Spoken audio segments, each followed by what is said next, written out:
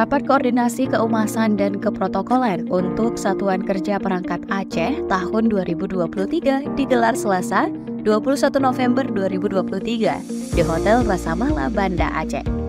Kegiatan ini diadakan guna berbagi pengalaman dan juga ilmu bidang kehumasan dan keprotokolan kepada seluruh SKPA dalam rangka peningkatan pelayanan informasi, komunikasi, dan publikasi di lingkungan pemerintah Aceh, sehingga dapat mendukung suksesnya berbagai program pemerintah dalam pembangunan Aceh. Acara dibuka Asisten Administrasi Umum Sekda Aceh Iskandar AP, serta dihadiri PLH Kepala Biro Administrasi Pimpinan Sekda Aceh Rahmadin, Kepala Bagian Materi dan Komunikasi Pimpinan Biro Adpim Sekda Aceh M. Gade, dan juga Rakor menghadirkan dua pemateri yaitu juru bicara pemerintah Aceh Muhammad MTA dan praktisi media Nurdin Syam.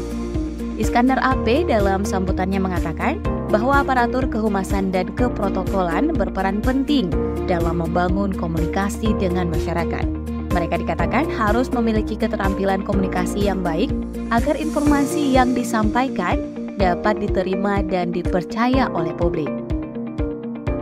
Keberadaan aparatur humas dan protokol juga diharapkan dapat meningkatkan citra organisasi di mata publik, baik internal maupun eksternal sehingga akan membentuk opini yang positif dan juga mendorong dukungan publik terhadap organisasi.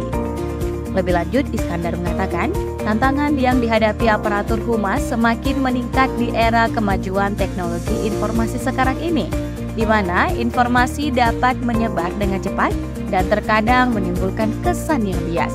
Untuk itu, seorang aparatur humas dikatakan harus mampu menjalin kemitraan dengan media dan tokoh masyarakat, serta aktif mempublikasikan kegiatan pemerintah melalui berbagai media.